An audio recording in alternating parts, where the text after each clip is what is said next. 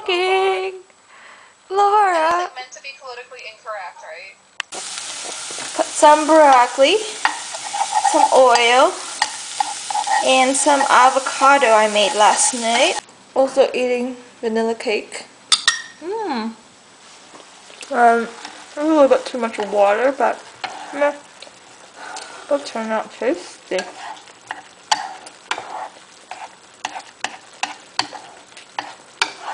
Have to wait for the water to evaporate, but other than that, it's looking promising. Hey, so got some leftover makeup from last time, so I just like sprayed on. Not even eyeliner because it's dark enough, so that was perfect. And it's kind of purpley, and um, I have a sports bra inside because I'm going to the gym right afterwards.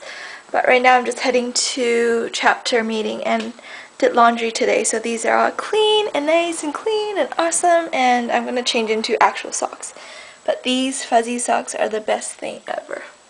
Seriously, and I'm also wearing smoked peach on my lips because my eyes are kind of too strong and I didn't want to do like another berry lip so I did a really muted lip. It's actually lighter than my lip color but it's like really pretty, see?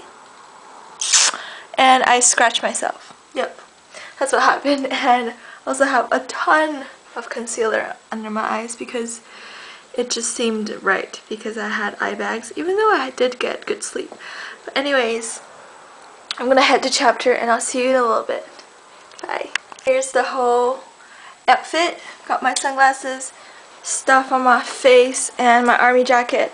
Too lazy to take out my wallet, so my wallet's in my jacket. Uh, shirt, pants, socks that are actually the same color, which is awesome. Um, actually gonna go now. I'm so excited because I got new music on my um, Blackberry, so I have new music to listen to now.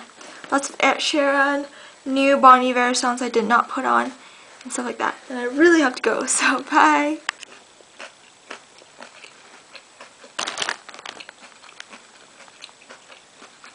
Sorry the lighting's kind of bad because it's um, already like 7 o'clock and just had a wonderful dinner with turkey and guacamole and lots and lots of pepper. I don't know if I could live without pepper anymore um, and some apple juice. So remember that thing when I, maybe you don't but possibly you do, when I did the vow that I would only go to one club event or a party or drinking like alcohol related party a week. Turns out tomorrow is one of my best friend's birthday. So I have to go. Um, it's just gonna be so much fun which but then it means that like the weekend I have to be studying and I go I have to stay at home and you know do rejuvenating things that are not alcohol related I guess but I'm just so excited to go to um, I think we're going to a bar. Um, but yeah, it's gonna be really fun. I'm gonna come home really early because I do have a quiz the next day in the morning which is dreadful because I haven't studied much yet, but I will be studying today. Um, today's chapter was very hard to go through because one of our sisters passed away this summertime. Um, and it's just, we did a little memorial kind of thing for her and it was just so hard.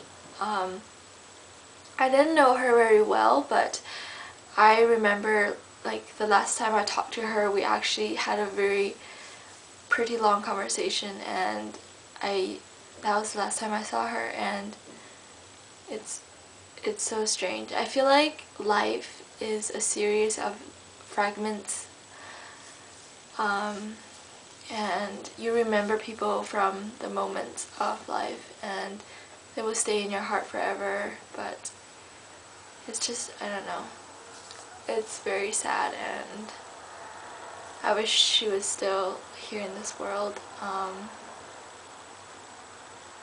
it was kind of, um, yeah, it's very sad and very tragic because I didn't know her better and I wish I did. But I'm really glad that I did get to know her a little better before she passed away. Hope you guys had a wonderful weekend and I'll see you tomorrow.